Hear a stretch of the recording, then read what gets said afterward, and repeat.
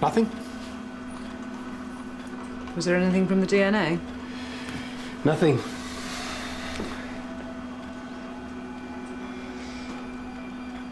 No visible cranial or mandible deformity suggesting variant long QT. Oh, Yeah, I see it. The carpal bones are separated. scapholunate ligament's been ruptured. Not recent, though. So we've got something.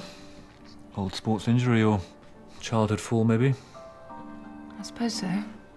If she fell on both hands. Hmm. Okay. At least for joint injury. You can still see the displacement between the metatarsals and the tarsus. They're entirely symmetrical, hands and feet. If she was pinned down, restrained, Mr. Gilston, uh, your son John. What about him? He was meant to come in with you. We need to test him as well.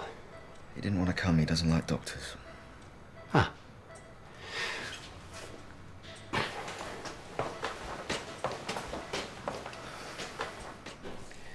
nothing recent. No discoloration or bruising. They're very short. So are yours. I'm not 15. And you don't live in Essex. Looks like they were done in a hurry. Hmm, by someone else, perhaps? What is it?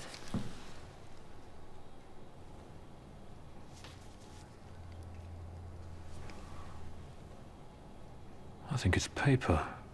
So what now? What happens in these instances? We keep testing them.